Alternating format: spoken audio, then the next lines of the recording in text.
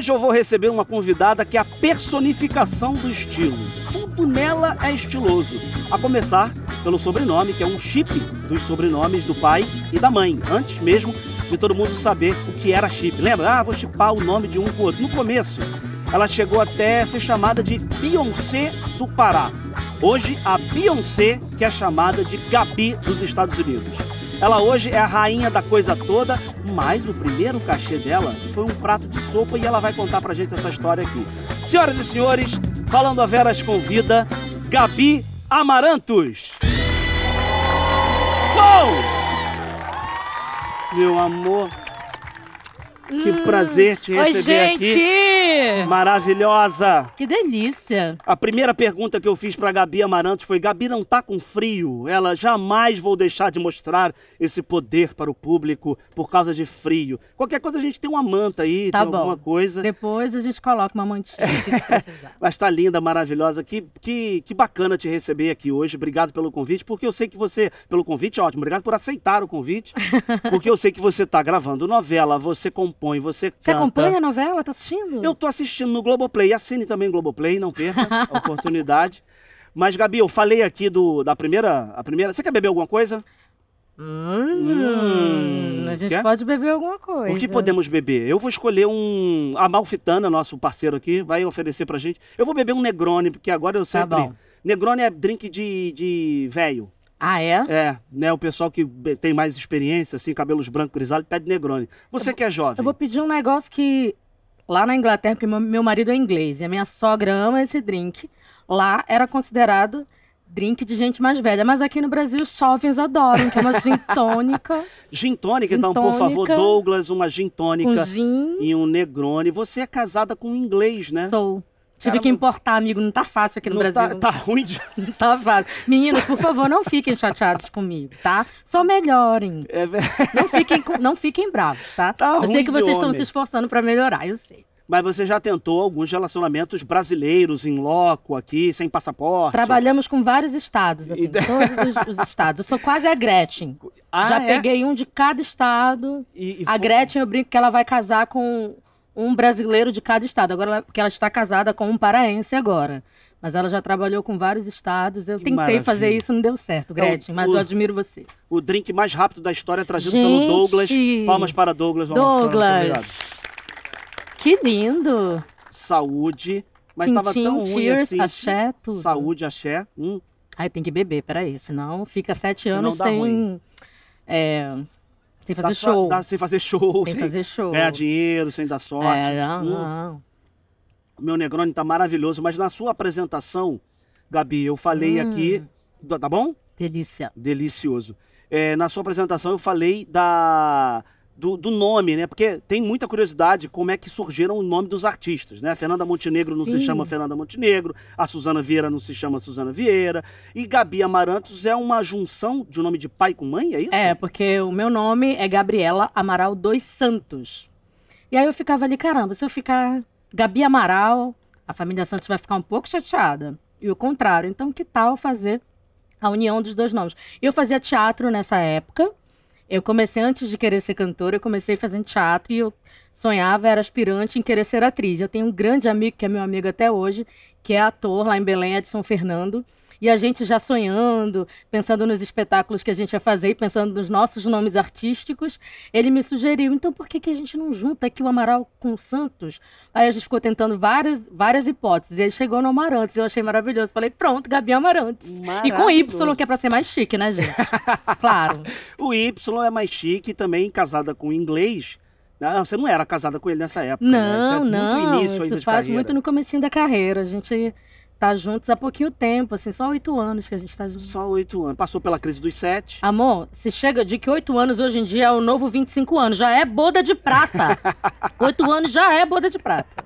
Agora, você começou a cantar é, na igreja, foi isso? Porque Sim. também é uma história muito parecida com muitos artistas que cantam, que usam a igreja como um, um- um- um- primeiro passo para se apaixonar pela música. Foi isso com você? Acho que tudo nas artes pra mim começou na igreja, porque eu fazia. Eu era. Eu sou leonina, gente. Sou leonina com lua em câncer e ascendente escorpião. Então, é uma Ai. pessoa que. Não é que ela gosta de aparecer, que ela aparece naturalmente. então, eu era do grupo de teatro.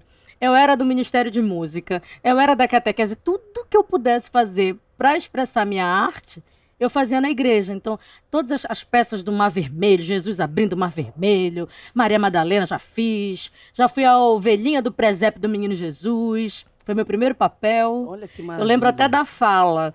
Eu sou a ovelhinha e vim pra ajudar, com a minha lã bem quentinha pra Jesus agasalhar. Não é fofo, Ai, que gente? Não é delícia. fofo? E eu não decoro o meu ascendente, e meu- eu só sei meu signo. Eu falo, eu sou taurino. E ascendente? Eu falo, putz, Tá eu querendo olhar. muito, né? É, não É que tá em decoro. alto agora esse negócio de signo, tá, Tá, né? Você acredita em signo? Não, assim? mas eu acho legal.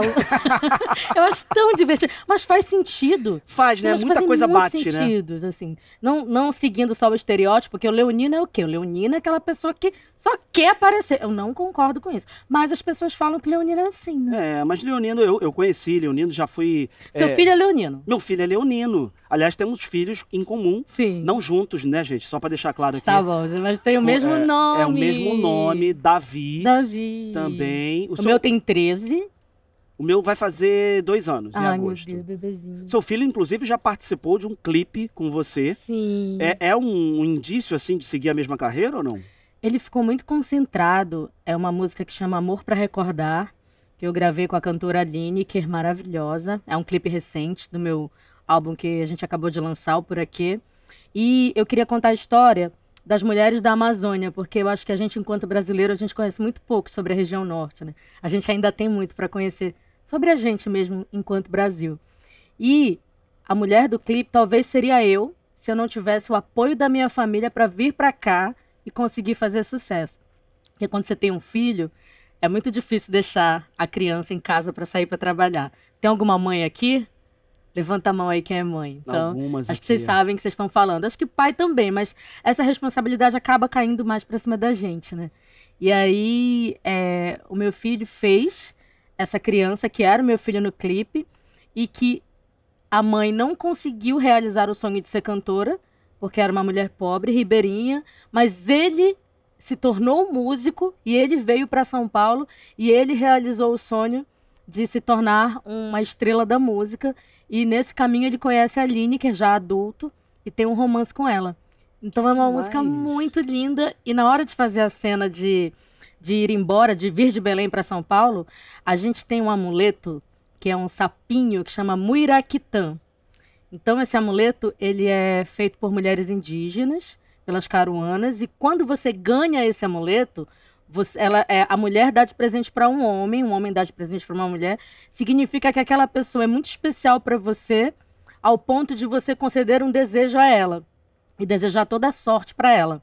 Então teve um momento que eu dei o amuleto para ele, para ele vir para São Paulo seguir a carreira. E aí ele olhava para o amuleto.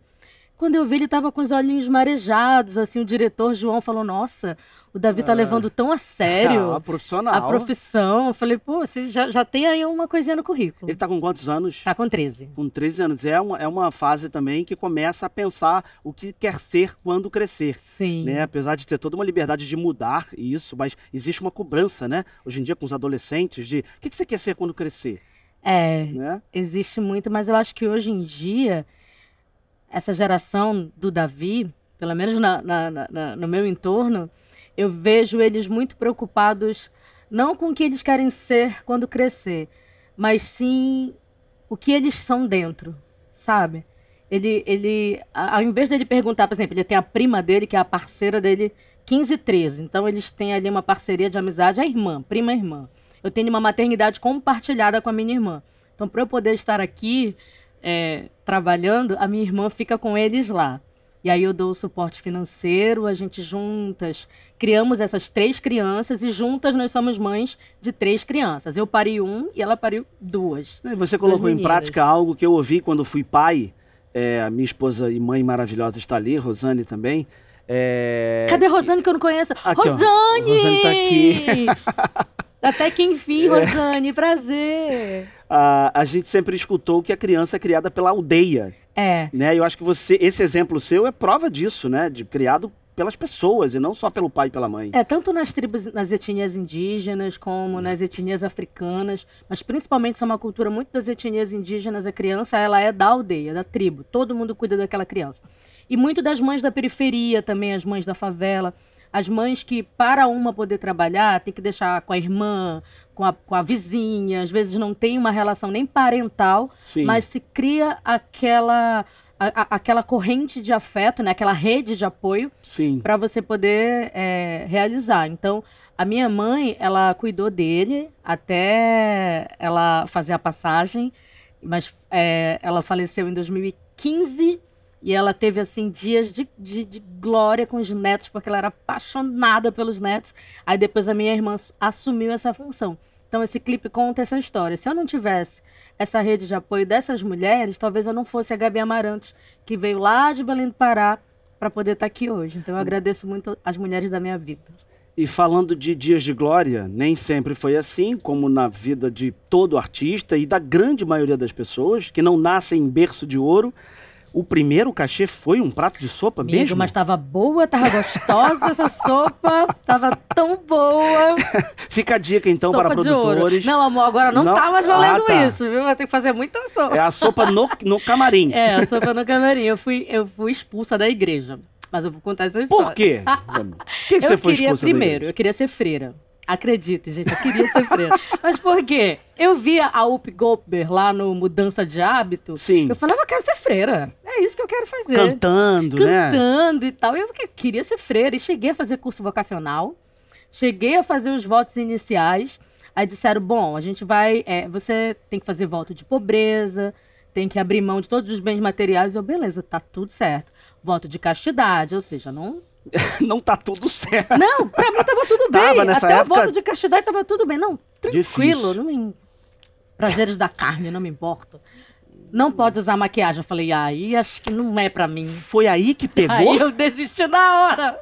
Quando disseram não pode usar maquiagem, eu falei, como? Não posso usar meus brilhos, minhas maquiagens. Aí eu desisti e fui cantar na igreja.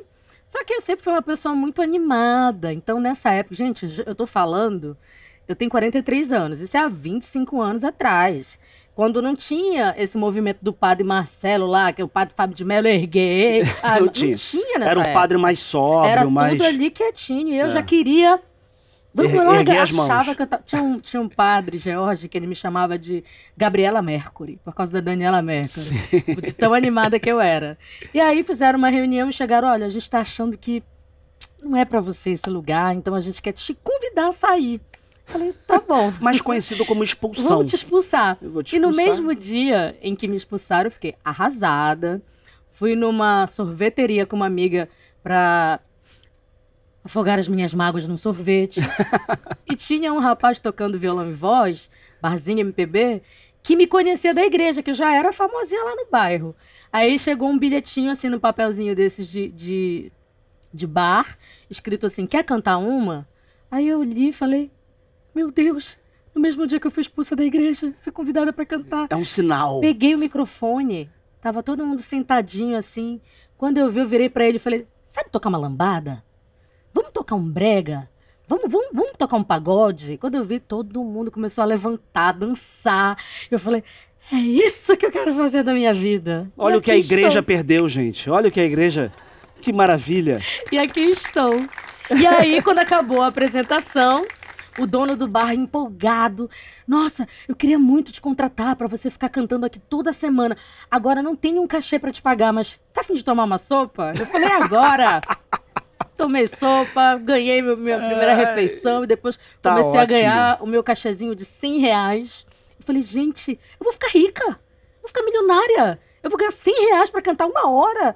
Meu Deus, eu quero ser- eu, eu fazer isso por amor, ainda vou ganhar dinheiro. 100 Porque- reais. 100 reais. No, no início, nossa, eu feliz da vida, porque eu tava cantando pra ganhar um prato de sopa 100 reais.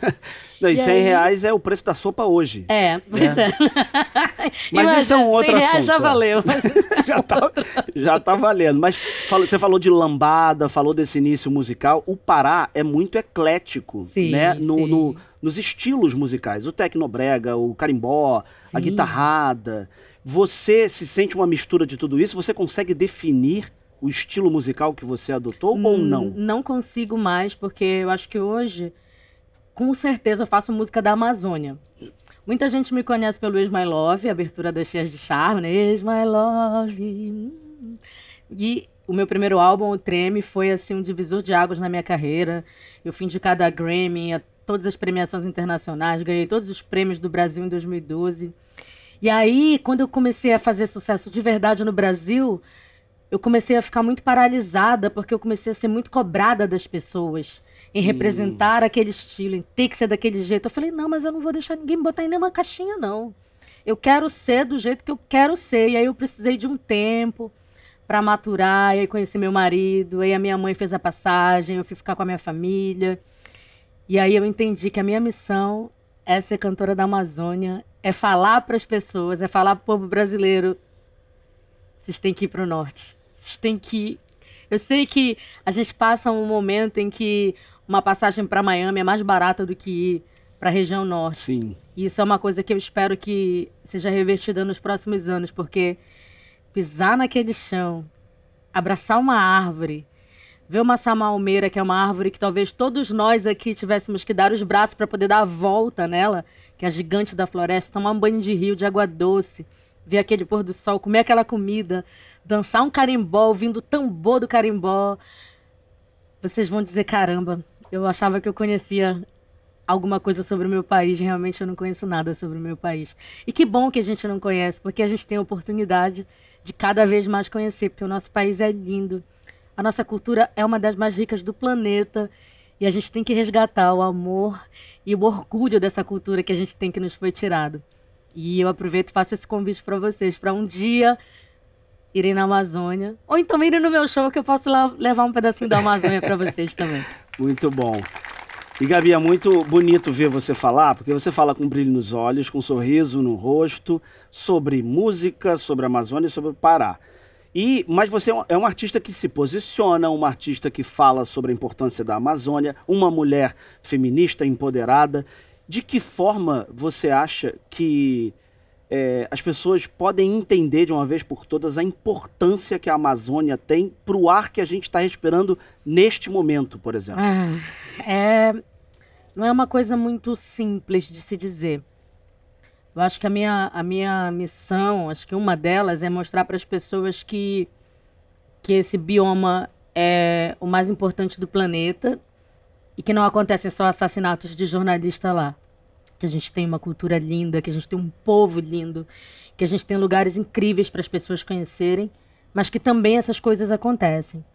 E que a gente escuta, eu aprendi na escola que a Amazônia é o pulmão do planeta, né? A Amazônia não é o pulmão do planeta. É, em São Paulo, acho que há uns cinco anos atrás, foi notícia nacional que uma nuvem de fumaça negra cobriu a cidade. Sim. Não sei se vocês lembram desse, desse dia. Tem pouco tempo. É. Tem pouco tempo, acho que uns três, quatro anos. É, aquela fumaça que veio da queimada de lá de cima, lá do norte, é a que faz com que a gente viva períodos de seca. A Amazônia, ela que Imaginem rios flutuantes. Tem rios aqui voando e a gente não está enxergando. Então a Amazônia é isso, ela umidifica o planeta. Se a gente respira, é por causa da floresta amazônica. E a Amazônia não é só uma floresta. A Amazônia é uma cultura. A Amazônia é um estilo de vida. Tem gente que pode estar aqui sentado, que nunca pisou lá, mas que entende que essa luta é importante e que quer fazer alguma coisa para fazer isso mudar. Então você também é uma pessoa da Amazônia. Mas o protagonismo dessa luta tem que ser dos povos de lá. Primeiro dos povos indígenas, que foram tão massacrados nesses últimos anos, de nós, que somos pessoas que vivemos lá, povos ribeirinhos, as mulheres da Amazônia. É tipo fazer uma campanha sobre o racismo e colocar só gente branca para falar. É fazer, por exemplo, um festival de música brasileira e não ter nenhum artista do norte, nenhum artista do sul também. A gente tem que se entender como um país inteiro. E a gente só é inteiro quando a gente tem uma visão macro que tem todo tipo de representatividade. É por isso que a representatividade é tão importante. Não dá para ter só uma pessoa. São muitas pessoas. Esse país é plural, esse país é incrível, é gigante.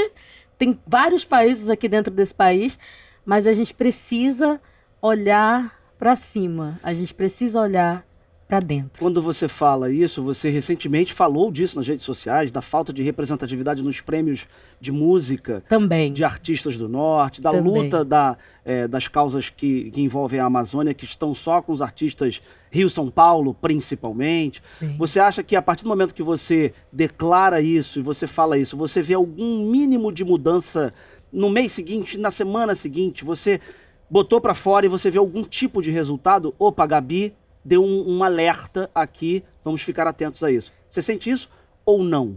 Eu sinto que é tipo pegar uma pedrinha e jogar na água e aquela pedrinha vai reverberando aquelas ondas e elas vão crescendo. Então eu sou uma pessoa otimista, eu tento não ser positiva tóxica, porque é, isso também é uma moda hoje em dia, mas eu acredito que a minha voz é importante, mas ela é mais importante quando ela é unida à sua voz, a voz de quem está aqui, quem está assistindo a gente. Então, eu, por ser de lá, tenho o tão falado lugar de fala. Mas eu não quero que as pessoas achem, ah, então ela está dizendo que só eles é que tem que lutar pela Amazônia. Não, é uma luta nossa. Conhecer essa cultura é uma questão nossa. Saber mais sobre os povos indígenas é uma questão nossa. Mas o protagonismo dessa luta tem que ser nossa. Semana passada me ligaram para falar: ah, é, a gente queria te convidar para cantar uma música, uma música em homenagem à Amazônia, por conta dessas coisas que vêm acontecendo. E aí a gente pediu para os compositores de São Paulo escrever. Eu, opa! Compositores de São Paulo? Como assim? A gente tem muitos compositores no norte. Por que, que os compositores Sim. de São Paulo, com todo respeito, que já gravei várias músicas de vários compositores Mas para essa Rio São Paulo, mas causa, para né? essa causa a gente tem que ter o ponto de vista da galera que está lá. Então eu acho que com amor, com carinho, eu sou muito afetuosa, eu procuro ser carinhosa. Eu não tenho problema de conversar. Eu acho que eu tenho muito a trocar. Tem gente que quer botar fogo.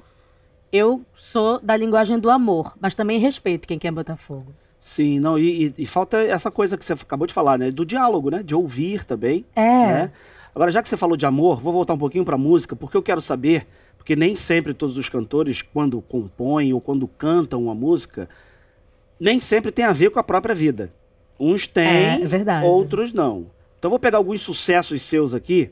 Ex My Love, por exemplo, que foi trilha de novela, que eh, já teve algum amor de Amor. botar na vitrine que não valia nem R$ 1,99? Eu acho que o único que, que tá valendo alguma coisa é o atual, porque eu, dele pra trás, tudo não vale 99. O histórico é ruim? É ruim, É. amigo. Eu tinha dedo podre. Já ouviu falar nisso? Já Tu ouvi, eu mirou no tive negócio alguns dedo também. podre. Até que eu falei, quer saber, eu não vou mais escolher. Vou deixar A vida. o destino, a vida, Deus conduzir. Aí veio um príncipe encantado remando numa canoa lá da Inglaterra. Mas o ex My Love Chegou. foi então pro combo anterior ou foi pra um específico? Não, amor, foi pra tudo pra trás. Pra tudo pra Tá tudo pra trás. Não, não salva um. Não salva. Mas hoje eu brinco. Tem alguns que, que eu converso, que eu falo, hoje eu brinco. Que eu acho que todo o amor que foi ruim, de alguma forma fez a gente aprender alguma coisa. Não eu não estaria aqui se eu não tivesse sofrido por amor. Eu lembro de um relacionamento que me ajudou a. me incentivou a começar a cantar. Outro me ajudou a comprar os primeiros instrumentos. Outro me ajudou a produzir as primeiras músicas. Então, todas as pessoas que passaram pela minha vida me ajudaram de alguma forma. Eu sou muito grata a eles e fizeram eu ser quem eu sou hoje. Sim, a gente é feito das nossas histórias, né? Sim, Do mas eu levei passado. muito chifre, amigo, eu levei. Levou? Levei. É. Confesso, levei. Então aplaudindo chifre, eu acho é isso interessante acho, eu acho- também. eu não entendi porque teve aplauso. Eu achei gente. chifre e a pessoa aplaudindo. Ou estão todos nesse momento sendo chifrados, ou se identificaram também. Não, é porque o brasileiro ele tem uma relação com o chifre que é uma relação muito tabu ainda, sabe? É- Fale mais sobre isso, eu Gabi acho que, Amarante. amigo, vamos, vamos conversar. Tome- quer tomar mais um pouco do Ah, gin? Vamos tomar mais um tomar negócio. gin. Agora, porque ela acabou de militar sobre a Amazônia, vamos falar de chifre. É, chifre não, não, não, não existe. É Depende do coisa ponto de que vista. colocam na cabeça, Na aquela cabeça. piadinha que não tem a Sim. menor graça, mas é. Mas Ah. as pessoas têm muito medo. Meu Deus, é até uma explosão ali. As pessoas têm muito medo de falar de Hum. chifre, de, de traição. Vamos falar de uma forma mais elegante. Há um pudor, né? É, mas é, é, é uma coisa que Acontece com muita gente. E hoje em dia. Engraçado esse... comigo, não. Não, Estranho, amigo, olha. Bom, eu- se você tá dizendo. eu O acredito. cara que fala isso é porque. Com todo respeito à minha Mas, senhora que tá aqui, não tô falando dela, tô falando mais do é, eu passado acho mesmo. bom respeitar mesmo a sua senhora que tá aqui, É. porque é- Então, mas eu acho que hoje em dia a gente já consegue se divertir mais com essa coisa do chifre, da traição. Sim. Inclusive tem movimentos, se você for pegar a sofrência, o movimento do feminejo, na verdade, Reginaldo Rossi, Vando, eh, Valdir. Soriano já cantavam isso há muito tempo. Claro, é uma, aquela Hã? fossa que te Aquela faz fala bem. chamou o brega, O brega. cura qualquer dor. Ouviu, gente? Fica a O dica. brega, pode escrever num chapéu, fazer uma tatuagem, botar numa camisa. O brega cura qualquer dor. Também, de acordo. Agora, outra música, outro sucesso seu, Shirley. Shirley. Café coado na calcinha pra te enfeitiçar. Já fez alguma Café coado simpatia? na calcinha, pois é. Vocês sabem, vocês conhecem, gente, simpatia do café coado na calcinha? Ó, talvez você, homem, já tenha bebido café coado É. e nem saiba na Eu- calcinha. Eu gosto de olhar a cara das A cara mulheres das que falam meninas. assim, não, nunca ouvi falar. Nunca ouvi falar. Pois Estranho. é, é uma tecnologia ancestral das nossas avós, tá? Pergunta quem tem vó, pergunta pra avó que a avó vai saber falar. Mas no norte e no nordeste também, porque a Sim. Shirley é de Pernambuco, composi- os compositores da música é, são de Pernambuco. Inclusive tem um clipe divertidíssimo dessa música, Shirley com X, e fala: Saia vermelha, camisa preta, chegou pra avalar. Quando tu for na casa dela lhe buscar, ela vai preparar café coado na calcinha, só pra lhe enfeitiçar. Então, você pega Gente, uma tu não calcinha... toma um café desse, gente? Toma, não toma? uma Inclusive, tem gente Claro que, que adora um café coado na calcinha. Eu ia pedir agora um desses. Mas tem gente que gosta de café coado na cueca. Aí é só pensar assim pra onde você quer mirar o café, tá? Direcionar. Aqui a gente aceita todas as formas de café e de amor. Mas você falou que acredita em signos. Você já fez simpatia, assim, pra conquistar o Há amor? várias simpatias. Várias. Funcionou? E, e não deu certo. Não. Mas é Ah, bom mas fazer, né? É bom fazer. Sabe o que é bom? Eu gosto muito de banho de cheiro. E Hum. no Pará, em Belém, a gente tem um lugar que chama Feira do Ver o Peso, que é um lugar Maravilhoso, já fui.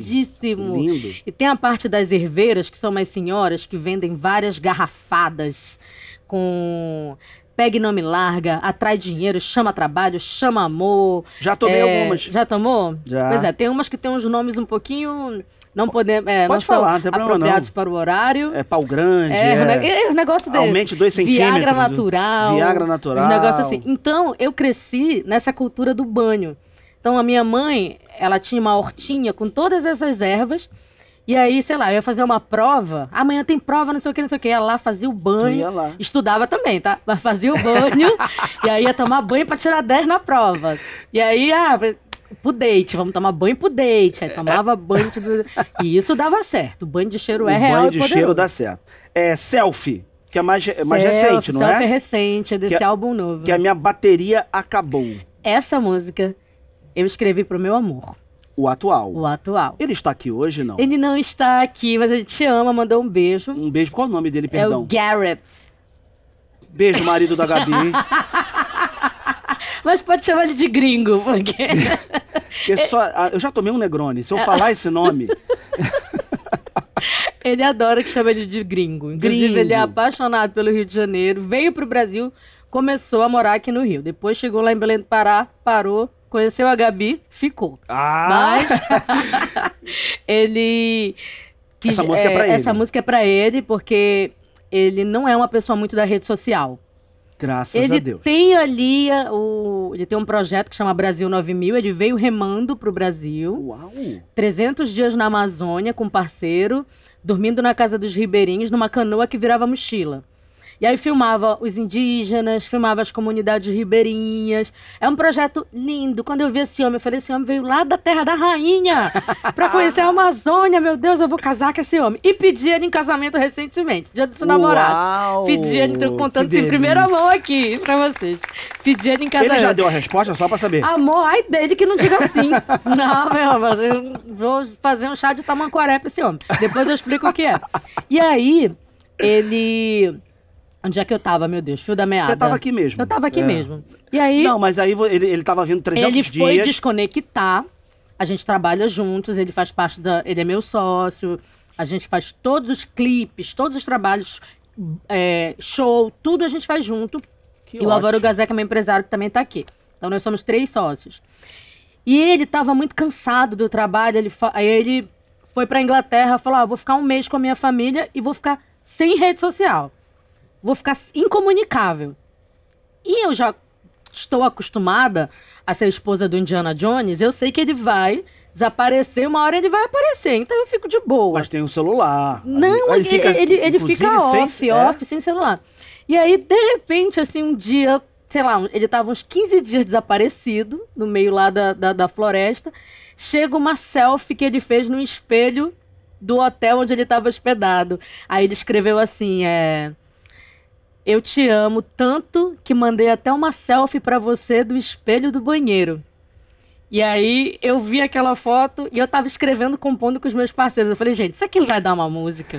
Isso aqui, cara, vai dar uma música. Ele tava vestido, só ele pra tava, saber. Ele estava, Ah, amigo. não era, nude, nude, não. Não, era nude, não. Tá. Porque às vezes falta de porque eu já mandei. Então, é, não, mas falei ele, alto, de ve- tava ligado? Pois é, de vez em quando manda. Mas então, e aí a música fala assim: Eu vou dar um tempo pra me recuperar. Só eu sei do meu tormento. Já neurei de tanto desamor, vou desconectar.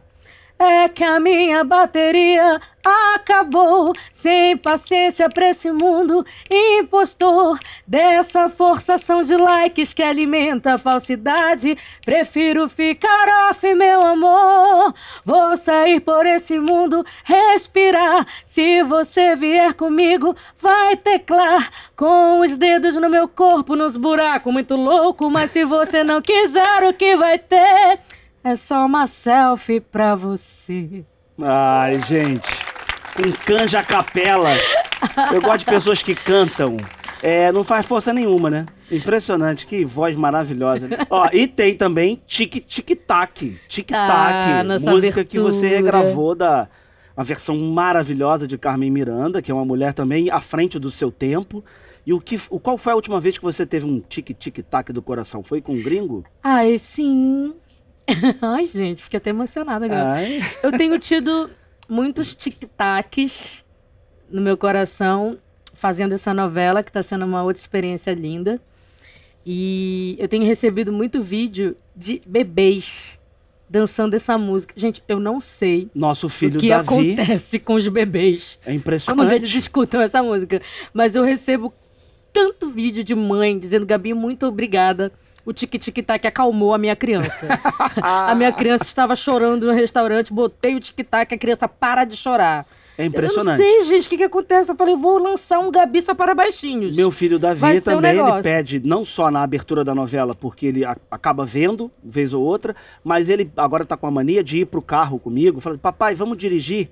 Ai, Então ele entra no carro comigo e fica só assim no volante. A Aham. primeira coisa que ele pede é tic-tac no meu coração. Ai, gente. E, então é, tem todo um roteiro na cabeça dele que é, é um, é um refrão maravilhoso. É, mas a é, música é é, ótima. é encantador. Assim, falando em criança, quero aproveitar que o, o, o Nicolas, que faz o meu filho na novela Jojo, tá aqui. O Nicolas Lindo, Parente. maravilhoso. O Nicolas E é faz o Jojo. com a mãe também. Ele é outro tic-tac ativo também. E é outro tic-tac do meu coração, essa criança linda. Lindo, talentoso. talentosa. é. Muito bom. Nossa. E, Gabi, a gente também, no início aqui, a primeira coisa, quando a gente se viu ali no, no camarim, falei, nossa, que linda que você tá. Você tem uma relação com a moda muito presente Sim. nas redes e principalmente nas suas apresentações no palco. Isso desde sempre, desde aquela época que você queria ser freira, porque freira só tem um look. Não sei se eu. É, se eu- pois é, eu acho que eu nem pensei nisso nessa época, mas acho que bem de antes, assim, eu tenho uns cadernos de criança, de desenho, que eu já desenhava figurinos, e eu desenhava vários looks, e eu desenhava várias roupas diferentes, e cores, e paleta de cores.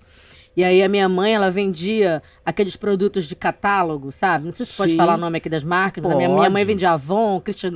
Era um negócio, Hermes, Christian Grey, fala... a gente falava assim, que a gente não sabia falar direito, né? o nome dos, dos produtos. Mas a minha mãe vendia, e aí eu recortava aquelas modelos, aquelas... E ficava colocando roupa, desenhava roupa Nas em cima modelos. Nas modelos As modelos de lingerie? De lingerie. Às vezes Olha. tinha também é, modelo de roupa, às vezes tinha rosto de, de maquiagem, eu recortava e ficava desenhando. Então, eu sempre amei moda desde criança. Eu sempre fui uma criança diferente no rolê. Na escola, eu lembro que que é, eu ia nos dias que a gente não ia de uniforme, aí eu ia com umas roupas muito. Fazia, a minha mãe fazia cada coisa. Sou uma criança anos 80. Eu sou uma criança assombrada por Xuxa, que Eu- eu também, também. queria ser Paquita. Mas não tinha nem uma Paquita preta e eu ficava lá achando que eu ia ser Paquita. e eu queria usar aquelas botas. Então, em Belém do Pará, gente, é calor de 42 graus. E a minha mãe fazia bota de crochê pra eu usar Na escola? na escola. E eu ia Eita. de bota pra escola e eu Que bordava minhas roupas. Gente, eu fazia cada coisa louca. E hoje em dia a gente entende que é isso, que é essa. é- eu já era uma criança muito criativa e eu tinha muita sorte de ter essa mãe que era costureira, que bordava. Minha mãe era uma artista plástica, ela fazia mil coisas, desde decorar bolos até pinturas. Então tudo que eu pedia, ela fazia. E a minha irmã, que é essa que eu, com que eu tenho a maternidade compartilhada, ela odiava. Ela é aquela pessoa que não gosta de brilho, não gosta de cor, só quer se vestir de preto. E aí, nossas fotos de criança, a minha mãe fazia uns vestidos bufantes com rosas. Aí eu tô lá assim na foto. E a minha irmã. brava, porque ela odiava as roupas e eu amava. É mais nova que você? Ou mais Ela é velha? mais nova que eu. mais eu nova. sou é mais coisa velha. de irmã mais nova. É, ela, ela não gostava, mas até hoje ela não gosta muito. Já, já consegui introduzir. Já dei um efeito Gabi Amarantos nela, ela já gosta hoje em dia. Eu falei de rede social com você, falei de moda, porque na sua rede social você posta de um tudo, né? Sim. Do, do seu trabalho, é, você tomando café, com maquiagem, sem maquiagem, é, de biquíni, com roupa, com roupa de show.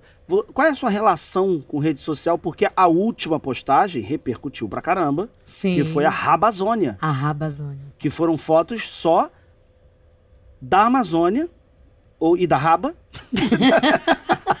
Vamos explicar para as pessoas o que é a Pra quem não Amazônia. sigam Gabi Amarantos no, no Instagram, que é maravilhoso. E é um, é, um, é um. Você sente que você inspira mulheres com, com a sua arte, com a sua música, com as suas opiniões? Ou não? Eu sinto que faz bem pra mim. E eu acho que o fato de fazer bem pra mim acaba naturalmente inspirando outras pessoas. Assim, eu sou uma criança que nasceu de sete meses. Então eu nasci desse tamaninho, assim. Eu era pra ter nascido em outubro, eu nasci em agosto.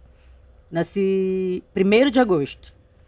E eu sempre tive uma relação muito difícil com o meu corpo, desde a infância. Porque como eu era muito pequenininha, muito esmirradinha, a minha mãe tinha muito medo de eu adoecer.